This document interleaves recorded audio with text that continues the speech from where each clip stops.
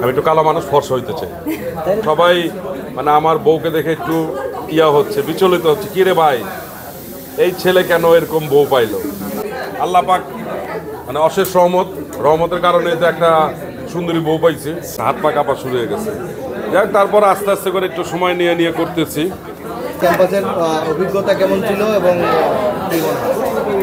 অভিজ্ঞতা আসলে কি বলব? মানে যে ক্যারেক্টারটা আমাকে দিছে ক্যারেক্টারটা অনেক কঠিন আর যেসব মানে শব্দ ব্যবহার করা হয়েছে, এগুলোর সাথে আমি এতটা অভ্যস্ত না, একদম খাঁটি বাংলা।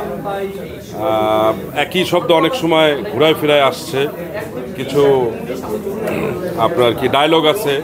প্রথমে একবার বলে ঘুরে আবার ওই জায়গায় আসতে হচ্ছে। এটা নিয়ে আমি খুব মানে ভয়ে ছিলাম। যেরকম আমার একটা ভাষ- ভাষণ দেওয়া ছিল, মোটামুটি বারো চোদ্দ লাইনের, একটানা বলে যেতে হবে। আমি যখন স্ক্রিপ্টটা হাতে দেখছি, আমার মানে পালপাটেশন শুরু হয়ে গেছে, হাত পা কাঁপা শুরু হয়ে গেছে। যাক, তারপর আস্তে আস্তে করে একটু সময় নিয়ে নিয়ে করতেছি। জানি না কি করতে পারছি। এটা দর্শকরা দেখবে, আপনারা সাংবাদিকরা আছে, দেখে বলবেন যে আমি কি পারছি কিনা। কারণ এই টাইপের ক্যারেক্টার আমি কখনো করি করিনি।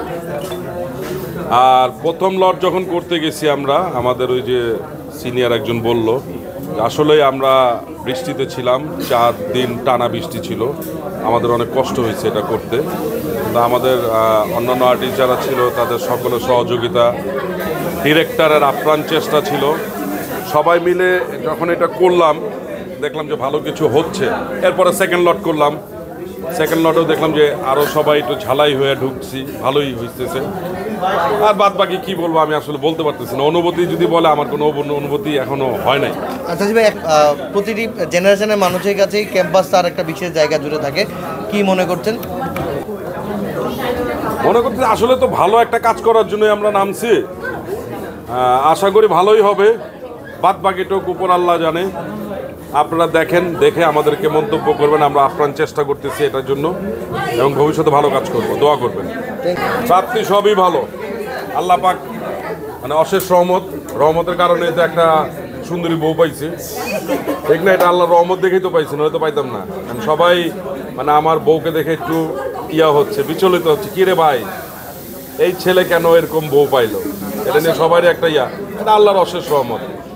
আর অপ্রাপ্তি কিছু দেখি নাই সবই প্রাপ্তি।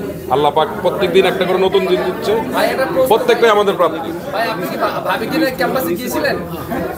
না যাওয়া হয় নাই। দেখে কি হয় মায়ের নতুন বছরের আদিটাও কাছে ওটা নতুন বছরে বলব এখন না বছর শেষ।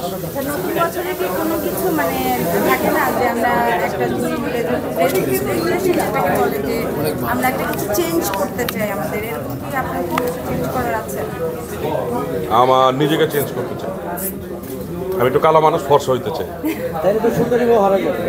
কখনোই হারাবে না ইনশাল্লাহ ভালো থাকবেন টাটা বাই বাই। আল্লাহ হাফেজ।